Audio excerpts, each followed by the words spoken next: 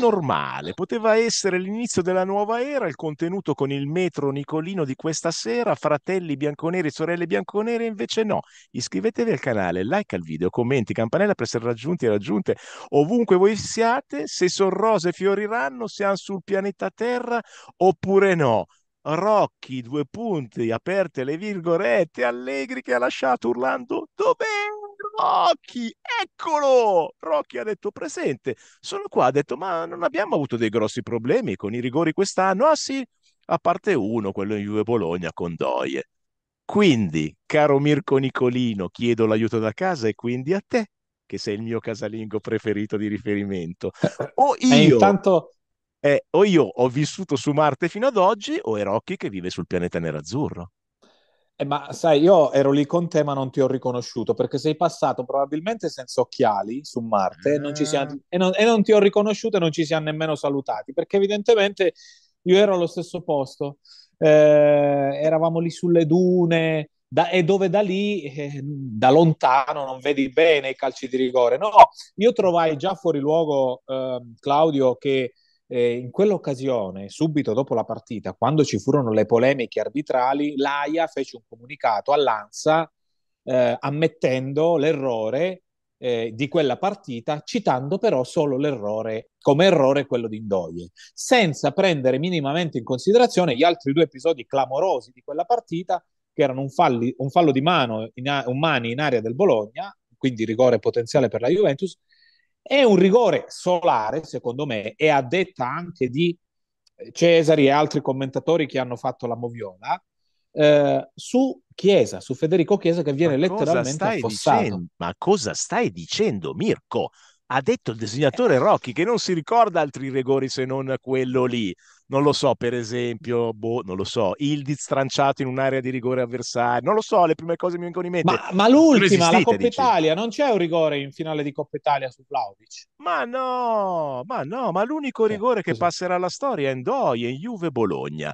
Questa però Basta. è la dimostrazione, Mirko. E abbiamo corretto il 92% degli errori. Certo, questa è la dimostrazione di quello che noi vanamente a questo punto cerchiamo di raccontare, soprattutto alla parte dei nostri tifosi, barra tifose bianconeri, bianconere, quando ci dicono ma no, siamo diversi dagli altri, ma no, ma non stiamo a attaccarci, ma no, ma non stare, ma no, ma non ti inviperire, ma lascia stare, perché tanto poi alla fine. No, perché tanto poi alla fine di un campionato dove dove, e non è un'opinione personale mia e tua, dai, sono dati di fatto, dove chi ha vinto il campionato sicuramente ha l'80% degli episodi a favore, chi non l'ha vinto la Juve sicuramente ce l'ha contrari, alla storia di questo campionato nel racconto passerà il disegnatore arbitrale. Ma io lo dissi dopo Juve Bologna, guardate che questo diventerà, che è una sciocchezza, perché nella stessa partita c'è un rigore clamoroso minimo su Chiesa più uno, come hai detto tu, per fallo di mano, ma sempre in quella partita lì. Ma passerà come il campionato di Indoie,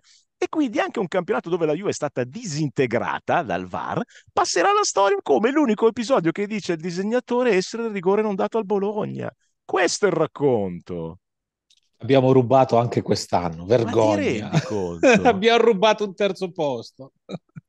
Ma io tra secolo, io non so A difesa Gravina, eh, eh, questo è il, è il, ritornello che si legge spesso sui social, Gravina sempre a difesa del brand Juve. Sì, eccolo eh? E anche quest'anno, ecco. anche, quest'anno eh, anche quest'anno, ecco, sempre difesa, Non poteva mancare eh? quest'anno. Non certo. poteva mancare nella giornata in cui succede eh, l'aiutone nella giornata in cui succedono due episodi chiave del nostro calcio, perché poi sempre il derby d'Italia sarà. Ah no, scusa, una piccola tinta di rosso-nero se mi permetti. Sinner, Sinner, da oggi è il numero uno del mondo perché Djokovic si è ritirato dal ah, torneo ai, del ai, ai, Quindi praticamente è il numero uno a tavolino. Eh, ci sta, ci sta. No, vabbè, eh, ho, avevo, no, un po' visto le, avevo visto un po' le, le, le, combinazioni e Sinner, cioè per non diventare numero uno, eh, Djokovic sarebbe dovuto arrivare in semifinale e Sinner uscire agli ottavi, quindi ormai sarebbe diventato numero no, uno. Era solo questione simpa- di giorni. Essendo lui un simpatizzante del Milan, ovviamente è un po' invidioso. Però sicuro al J Medical. Però sicura al J Medical. Ora al J Medical perché quando deve essere rimesso in sesto lo sa dove deve andare. Senti, vuoi salutare questa elezione avvenuta nella giornata di oggi, in mattinata di Marotta, presidente della squadra campione d'Italia, con tanto di auto dello Stato pagate dalle nostre tasse del presidente del Senato La Russa che corre ad acclamare nel consiglio uh, di amministrazione Beppone? S- siccome ho, ho, lavorato tanti anni per la cronaca e per la politica e ce l'ho a nausea, mi rifiuto di commentare la russa. Eh, penso che in, in nessun altro paese eh, il presidente di una delle due camere, eh, anziché andare a lavorare, andrebbe alla presentazione del, del, presidente, del nuovo presidente della squadra per cui fa il tifo. No, sono contento che finalmente l'Inter ha un presidente che conosce il numero degli scudetti della Juventus, perché Marotta eh, ha, eh. quando la Juventus ha vinto il 36esimo no, scudetto ci ha tenuto a precisare... Fa, no non fare così. È già successo con la festa della, della, stella di cartone doppia. Lui ha detto che sono 20, di là erano 30, di qua sono 20. D'altronde. Ah, quindi... D'altronde, Quindi se ne è già dimenticato. Ma lui può tutto. Da piccolino Varesotto simpatizzava i rossoneri, poi è diventato juventino adottato e acquisito e adesso è presidente dell'altra squadra di Milano. E tu ha fatto tutto. Eh. Complimenti a lui, vuol dire Compl- che è bravo. Bravo, complimenti a lui. E meno complimenti a noi che siamo stati in ballo una settimana tra minacce legali da parte della Juventus ad Allegri, contro minacce da parte dell'allenatore, voglio anche i danni, e poi alla fine in una sera di avvocati, o meglio, in un Gran Premio e una finale di Champions League dove forse no, Allegri ha incontrato da vicino Elka, una bella stringiuta di man e usciamone tutti meglio di così non poteva che essere altrimenti eh, perché allora eh, John Elkan eh, in, in, questa situazione eh, in questi giorni è molto criticato però devo dire la verità. Eh, in questa situazione l'ha gestita, l'ha, l'ha gestita si è comportato bene. Perché dico? Perché quando è stato informato della, dell'invio della lettera di licenziamento da Allegri eh, per quello che so io lui ha risposto avete preso questa decisione? Portatela avanti, vediamo cosa succede. Succede poi però che Massimiliano Allegri fa delle controdeduzioni con i suoi legali e siccome persino Delio Rossi, quando è stato licenziato per lo schiaffo agli AIC, con le sue controdeduzioni vinse la causa contro la Fiorentina, e siccome c'erano diversi pareri legali che dicevano alla Juventus, guardate che qui c'è il rischio che, il forte rischio che perdete, e quindi oltre a dovergli dare quello che gli spettava, può, può darsi che dobbiate anche pagare dei danni. Allora lì John Elkan, che mh, mm, vuole risolvere spesso queste cose in maniera bonaria e eh, sapete, anch'io l'ho spesso criticato quando ci sono le, le cause. Cerca di scendere a patti, è un po' allergico ad andare oltre. Eh, è un po' allergico ad andare oltre, anche perché, anche perché noi non è che nei tribunali siamo così forti. Eh, e allora dice, guarda, piuttosto che perdere le Vabbè, ma questo processo... era, Villar, questo era Villar Perosa, Juve A, Juve B, scusa. Eh, lo sai, però eh. Eh, cioè, eh, eh sarebbe stata l'aggravante, cioè perdiamo anche eh. contro noi stessi. Quindi dice, vabbè, risolviamola. Poi, top secret l'accordo. Io ieri sera eh, ho, ho ricevuto diverse versioni eh, cre- de- dico la verità, non credo a nessuna di queste versioni perché la verità la sanno solo loro e la conosceremo quando la Juventus allora, stilerà il bilancio. Io l'ho già detto, quando ci sono passato pure io, quando c'è un accordo tra parti lavorative di segretezza, cioè è inutile leggere su un giornale 5, 4, 3, 2, 1, perché se l'accordo è patto di segretezza nessuno può comunicare le cifre. Lo scopriremo sul salvo bilancio. Salvo pagare sarà... poi delle penali se vai incontro a spifferare quelli che sono le cifre del accordo. Quindi... Esatto. Eh. Quindi quando, quando al 30 giugno uh, finirà la stagione sportiva e poi ci sarà l'approvazione subito nei mesi successivi, conosceremo finalmente quanti soldi sono stati dati ad Allegri. Su una e... cifra, io e te devo dire che anticipando tutti, eh, ma cosa dici? Non è vero, adesso vedo che sono tutti d'accordo, cioè che Motta prenderà 5 milioni. Sì, no, io eh. devo dire la verità, ancora non ho capito, non ho capito se in questa cifra è incluso lo staff o meno, no. però No, eh, vedi, tu mi, eh. vedi, che su questo non, abbiamo, non, non ci siamo confrontati. No, su questo te dicendo... lo aggiungo io. 5 sono su. Vedi, vedi, eh. vedi, il be- è, il bello, è il bello delle nostre live. E ci sta, attenzione, però siccome poi noi sì. siamo sempre bravi a rompere le casse ai nostri no, allenatori ti... per i soldi che vanno a guadagnare, Tiago Motta in questo momento era in una posizione forte, e cioè tu l'hai allontanato Allegri, hai puntato Perché su di me, ora... ti rimane solo io. Eh. Ora dobbiamo dirla questa cosa, non è che noi Tiago Motta lo valuteremo in base allo stipendio che gli viene dato dalla Assolutamente no. Uno, bravo lui a farselo dare. Eh, due, eh, ovviamente dovrà rispondere sul, sul, campo con il lavoro. E se la Juventus glieli ha dati, ecco, attenzione, questa è la differenza tra chi eh, dà sfogo al suo disagio, perché ora addirittura ho letto oggi che non si doveva fare le vacanze, Motta doveva venire, cioè gli stessi che volevano fuori Allegri ora stanno attaccando Motta perché si sta facendo le vacanze. Cioè ragazzi, questi qui hanno dei contratti che scadono al 30 giugno, dentro il 30 giugno si devono fare un tot di giorni di vacanze, altrimenti le perdono. Quindi questo qui si sta facendo le meritate vacanze permettete che se Ma le poi, faccia scusa, il nostro prossimo allenatore della Juve me lo vuoi far arrivare fresco o devo, devo farmelo arrivare esatto. consumato mentalmente? Eh, esatto, no, ma non quello. avrebbe avuto senso che lui consumasse dei giorni di vacanza per tornare dalla Spagna a Torino, firmare, poi ripartire per la Spagna. Cioè, che motivo Amico, aveva? Ma stiamo veramente discutendo dei giorni di vacanza sì, di stiamo, stiamo no. discutendo di questo. No. Perché, perché, il disagio ha, ha vie infinite. Allora io dico, Secondo me, se la Juventus ha dato questi soldi a Motta, vuol dire che la Juventus ritiene che Motta sia l'uomo giusto e io, e io eh, in questo caso sì, accetto di essere aziendalista. La Juventus dà questi soldi a Motta, per me sono giusti.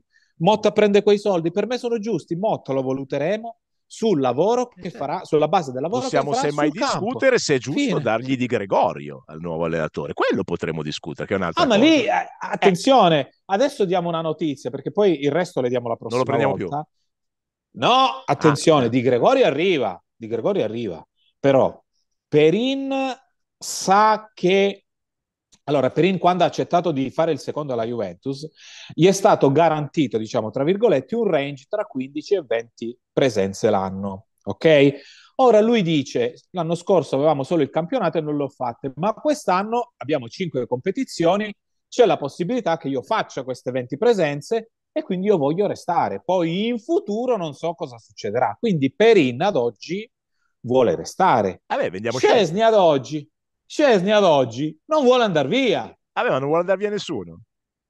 E non vuole andare alla Juve si sta bene perché ogni due o tre del mese, non ricordo quando è, Pinsoglio, Pinsoglio non si può toccare perché è imprescindibile. Pinsoglio eh, rinnova. Eh, certo. E quindi vediamo chi va via. Io sono curioso di vedere come si risolve questa situazione con quattro portieri. Sono curioso. Poi, posto eh, che Di Gregorio arriva in prestito con obbligo di riscatto, eh.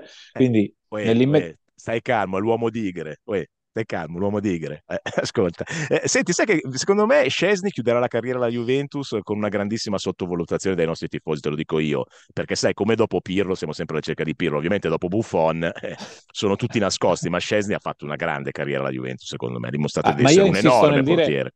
Per me è uno dei primi tre al mondo, poi eh. sarò io fissato, ma per me è uno dei migliori tre al mondo. Eh. Senti, chiuso i portieri, no, chiuso i portieri sì. andando velocissimamente perché noi abbiamo dipinto le difficoltà che ci saranno sul mercato e tutti, eh, non è vero, leggi, eh, con Miner 60, David Lewis 68, eh. Cioè, eh sì, 140 milioni per due centrocampisti. e basta o secondo te qualcuno di questi re- si può realizzare?